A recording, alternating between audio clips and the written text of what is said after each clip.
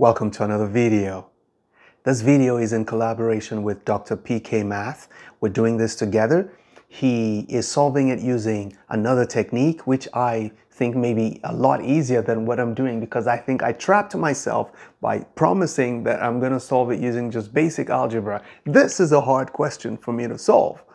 Well, if you find an easy way or an easier way to solve this, let me know. Please check out his channel and um, see how he solves this problem. I think I'm gonna watch it too and see what he has in stock. Let's get into the video.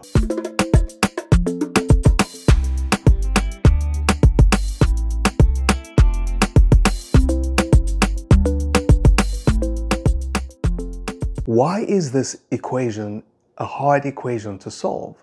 Number one, I am not sure of how many solutions I'm supposed to get. What do you do first?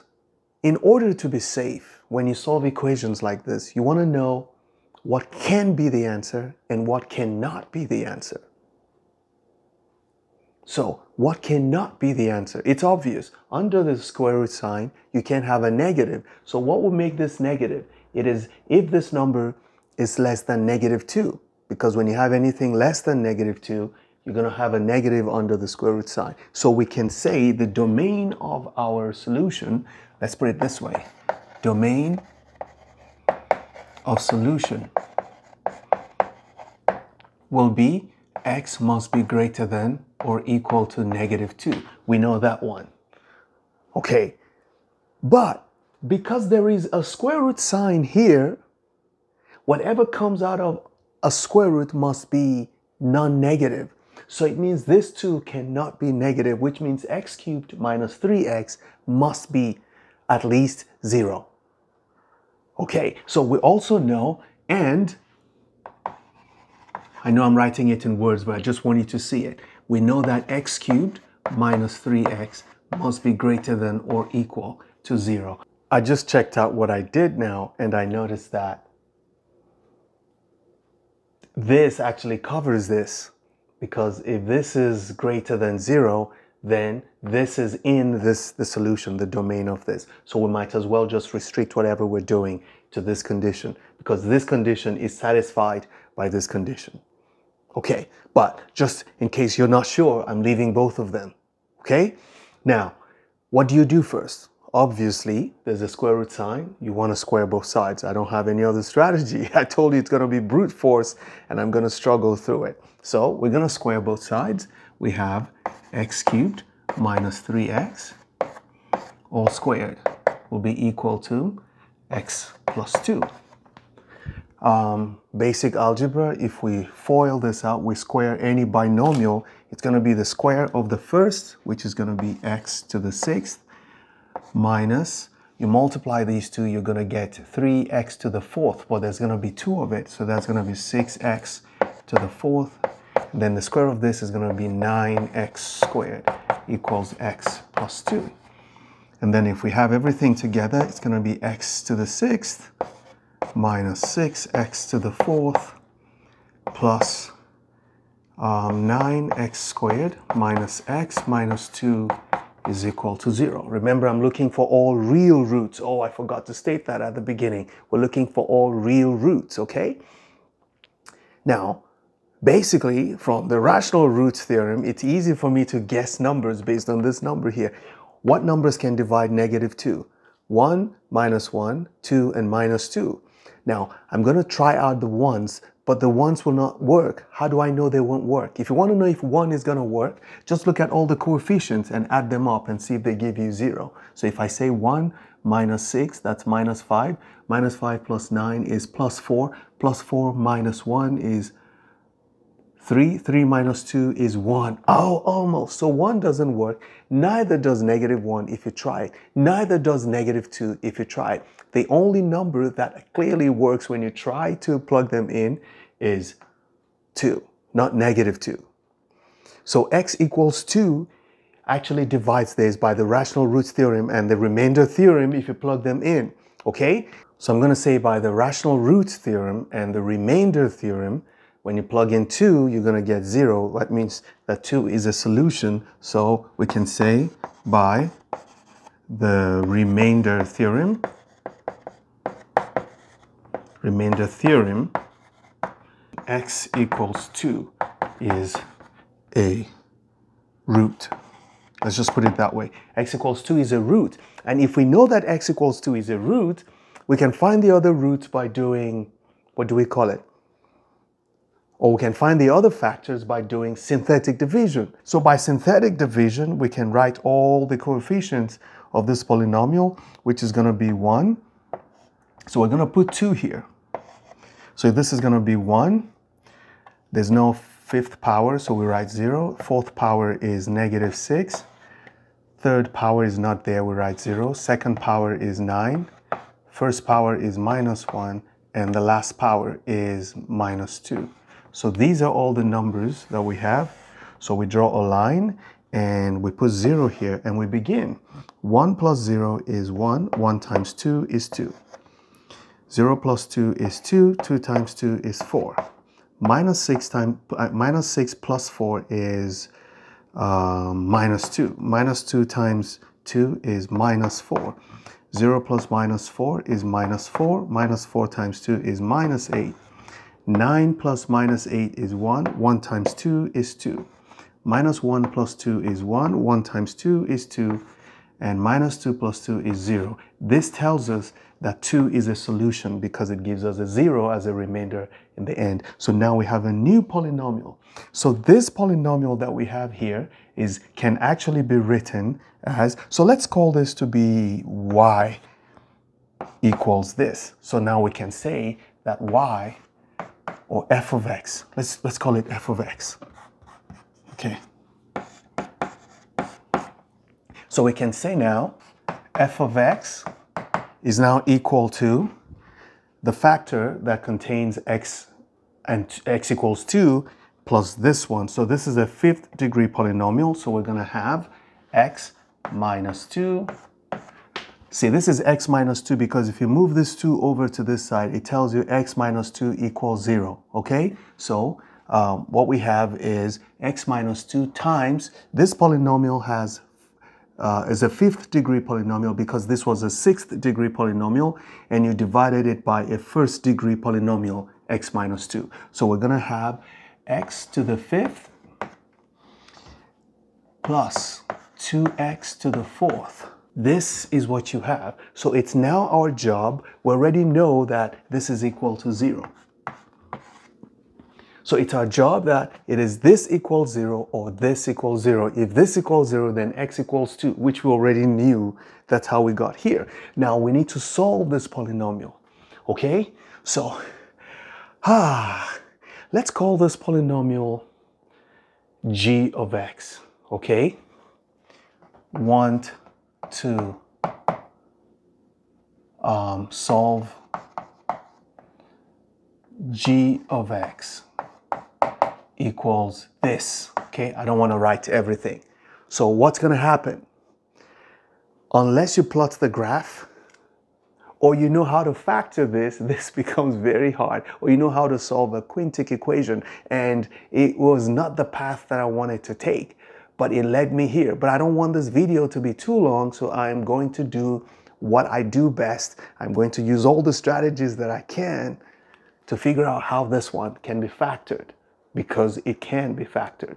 So what I know is because the very last term is 1, if it can be factored, each of the things you are going to multiply must end in 1 because the factors of 1 are 1 and 1 or minus 1 and minus 1, but they, they have to be the same thing. And because the, it, this is to the fifth power, you must be multiplying a cubic equation by a quadratic equation or a fourth power, which is a quartic equation by a linear equation. But I looked at this, there's nothing linear you can, you, you can factor out. I tried it, it didn't work out. So it's not linear. It has to be quadratic and cubic. So I'm going to say that g of x will be, now this is guesswork I'm about to do. That's why I said this was hard. I know that the first term here is going to be x squared. And the first term here is going to be x cubed. The last term is going to be 1. The last term is going to be 1. Now, is this going to be plus 1 or minus 1? I don't know. And I'm also counting on the fact that because this is positive, this is positive, this is positive. So that's what we're going to start. Now, this is x squared. We only need one more term here, right? We need one more term. We need x, but we don't know if it's going to be plus x or minus x or plus 2x or plus 3x. We don't know how many x's are going to be there, but something is going to be here. So wait, let's leave it some, let's, let's work on the smaller one because the only thing you need to guess is this middle one. If you get this, you can always get this one because you can do a long division process, you know, carry out the long division process, you're going to get this one. So focus on this, focus. Okay, now, let's focus on this guy. 2x to the fourth. So this is going to have, okay, let's not, we don't know what the coefficients are going to be, but we know there's going to be x squared and there's going to be x. Okay? In order to get two of this, it is guaranteed that this guy is going to multiply this guy in order to get x to the fourth. It is also guaranteed that this guy is going to multiply x in the middle here to get x to the fourth. No other multiplication is going to generate that. And because we already said these two are single, it is correct for you to assume that, if remember, I said correct to assume, it is safe to assume that this is going to be plus x. And to assume that this is going to be plus x also.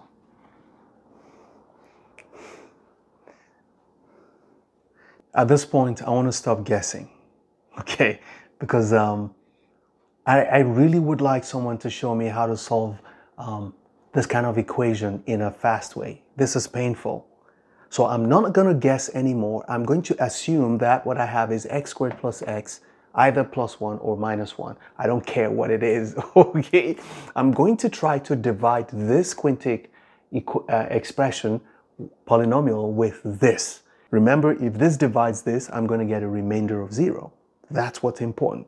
It doesn't matter what this looks like. Okay, so let's do long division. So I'm going to do long division. I chose negative 1. I have a strong feeling that everything cannot be positive. Otherwise, we won't have these negatives here, right? That's, the com that's very commonsensical. I don't know if that word exists, but that's what I'm doing. So let's do long division. We're going to say, how do you do long division? For some people, they get confused at this. How many what would you multiply this by to get this? That's how you solve. That's how you do long division. Ask yourself, what would I multiply this by to get x to the fifth? It's going to be x cubed. You write it here. You multiply everything here by x cubed. So this is going to be x to the fifth. This times this is going to be plus x to the fourth. This times this is going to be minus x cubed. And then you subtract. So this minus this is just x to the fourth. This minus this is just going to be minus 2 minus minus 1, which is going to be minus 1. So minus x cubed. And then you bring this down. Bring down all of them. Okay? You can just put 0, 0 here because they're not involved in this calculation we did. So you don't get confused. You bring everything down. You get minus 4x squared plus x plus 1. Okay, you start the process again what would I multiply x squared by to get x to the fourth? It's going to be x squared. You use x squared to multiply each of these and you write them all down here.